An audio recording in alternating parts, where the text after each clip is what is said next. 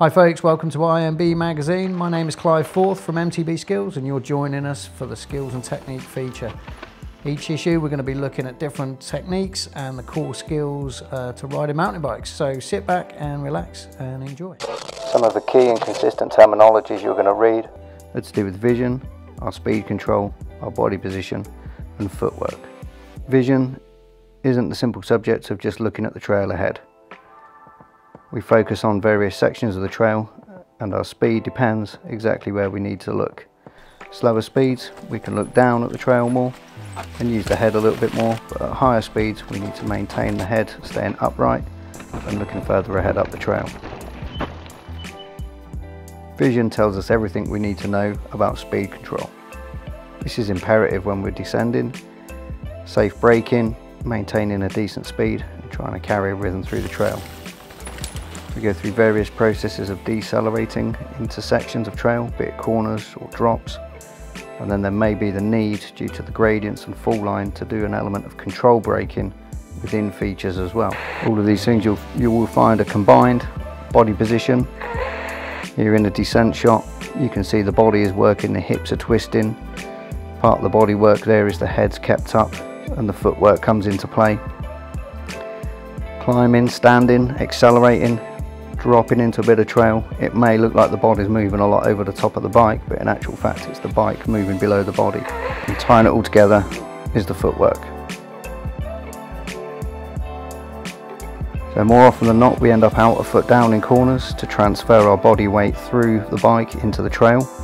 We roll the foot on the pedal, twisting the foot towards the crank arm and it's preferable, although tricky for those of you who have been riding for years, to lead with your outer foot into corners. That's to get the hips twisting in. Climbing, footwork comes into play. We need to get our pedal timing and crank position lined up to clear obstacles to avoid those pedal smashes. We're looking at speed control and specifically gears, shifting gears and cadence. So your trails are going to be composed of up, uppy sections, flatty sections, downy sections and learning to pace rides and use a bit of effort and use a bit of torque and a bigger laboured gear to clean technical features like these little rocky passages is a key thing but then working out where you can get a bit of recovery is uh, equally important because you've got this whole process of putting out big effort and having to recover.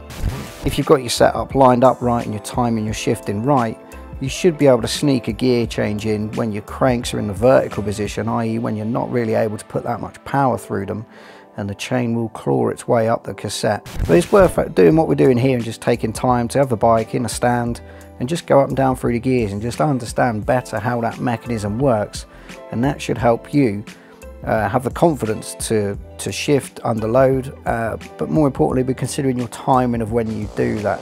We're going to be looking at some braking technique. All right, so as with always, the golden rule of trail riding is get looking up the trail and read things in plenty of time. Braking here, we want to have our finger, our first finger perched on the end of the lever for maximum control. We're being light and delicate on it. So the trick is modulating the brakes. We're going to be sometimes more reliant on the back brake and doing a bit of dragging with the back to uh, not have the front washing out on us in the turns. want to avoid consistently dragging them because it's going to build up temperature. It really is something you learn through practice, uh, techniques that require feeling. You've got to go out there and hit up as many different types of terrain as you can wet rocks, slidey rocks, roots like we've got here. Again, you're going to want to skip away from me, off the brakes to get the grip and the bike will really hook up and turn. Decelerate on the way in, control on the way through, and if you really need some grip for it to hook up and turn, get off the brakes. And dropping down over stuff, it's just a continued process of modulating between the two. We're looking at avoiding the stall. Opening shot, obvious manoeuvre to avoid stalling out on them roots is a sweet little manual. There are lots of different techniques you can use. Typically it is the manual, we, so long as we can get the front centre over the bike then generally the back will uh, follow along behind us. However, in situations like this where the ground's pan flat, this is where riders are losing speed, particularly in World Cup downhills, you'll see it, that's where they can pick back time. Classic bit in our local trail, first run throughs, heavy, laboured, I'm leaning into the bars and you can see the bike stall out. Second run through here, pace pretty much the same on the way in, exit speed totally different by doing a little bit of unweight in the front and rear that third and final run easy just to eliminate all. Micro stalls, little square edges holding up and these bigger obvious stalls and sloping bits of rock and root and so on. As best we can do to thread through there, find a sweet line the more likely we are to carry decent speed. Here we're going to be looking at a bit of a mini series of what I consider the core skills and it all starts with the wheelie. The wheelie links you sweetly into learning manuals and bunny hops. All these skills are about pivoting over the rear axle. In order to perform good consistent manuals you've got to get that front wheel right up in the air and be comfortable in that neutral balance point. and the height of that limits the height in which your bunny hops. Whoa, so here we go folks, welcome to another issue of IMB. So we're looking at the manual fantastically useful skill comes into play out on the trail comes into play when we're just having a bit of playtime. Bunny hops come in on the trail in all sorts of places whether we're using a little donk to cheat that lift or whether we're just pulling hops off the flat for practice it really is a skill that's worth sessioning. What to some would look like three pathetically small drops to others could be quite significant. You really want to start small with everything, start slow and build up from there. So finding drops of this scale are pretty handy. Uh, so there's loads of different styles of corners out there. I brought a couple of volunteers along with me today just so we can look at different people's abilities on the bike, their different frame sizes and we have both a lady and a guy with us so we can see how you might have to change your technique according to your physique, your physiology, but you're also going to have to change your technique according to the types of corners that you're riding. So uh, stay tuned, enjoy.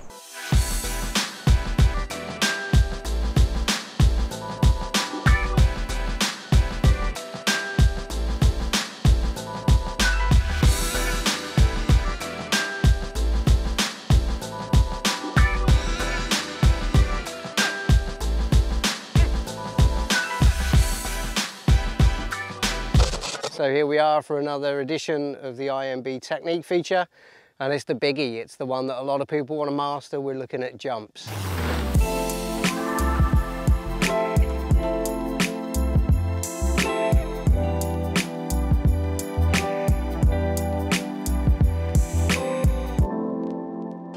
So we're now in Drumlanrig, uh, we're going to introduce camber. So if you've read the feature, you'll know what I'm talking about. And if you've not read the text, don't be lazy just by watching the video, get in amongst it and read the text as well. So camber's everywhere in our world. We'll get what we call positive camber, the shapes that are working with us, the berm type shapes, and we'll get what we call negative camber, so the stuff that is off camber working against us. Uh, we're going to be using all of our technique and this is all about progressing the core technique from the previous features. The fundamental things of vision, body position, footwork, the speed control through the section. We're going to have to hone those skills, really sharpen them up as we get exposed to more extreme and severe terrain. When I mean extreme and severe, we're talking narrower, steeper, both up and down, as well as chunkier, so a gnarlier trail surface, a rougher trail surface. Welcome folks to another edition of our skills and technique feature. This time around, as much as we're moving into winter, we're not particularly going to focus on winter skills we're going to look at bringing all them skills together and using them to link features. So is all about linking pieces in the trail and obviously we're looking at the more technical side of things, the more technical terrain and linking stuff, bringing all the skills together that we've learned, wheelies, manuals, hops, pressure, obviously using your core techniques, your vision and so on. Um, really will help you find a little bit more flow on the trail. So you join us again for another uh, instalment of our skills and technique and we're looking at climbing. Now, inevitably a lot of people end up doing the easy route up, forest roads and easy attraction trails, but there is another way and there are certainly sections out there, both in more natural terrain and the bike parks, that you'll find a bit more challenging and we're looking at technical climbing. So let's go and see what we can find here at our home at Mabie Forest.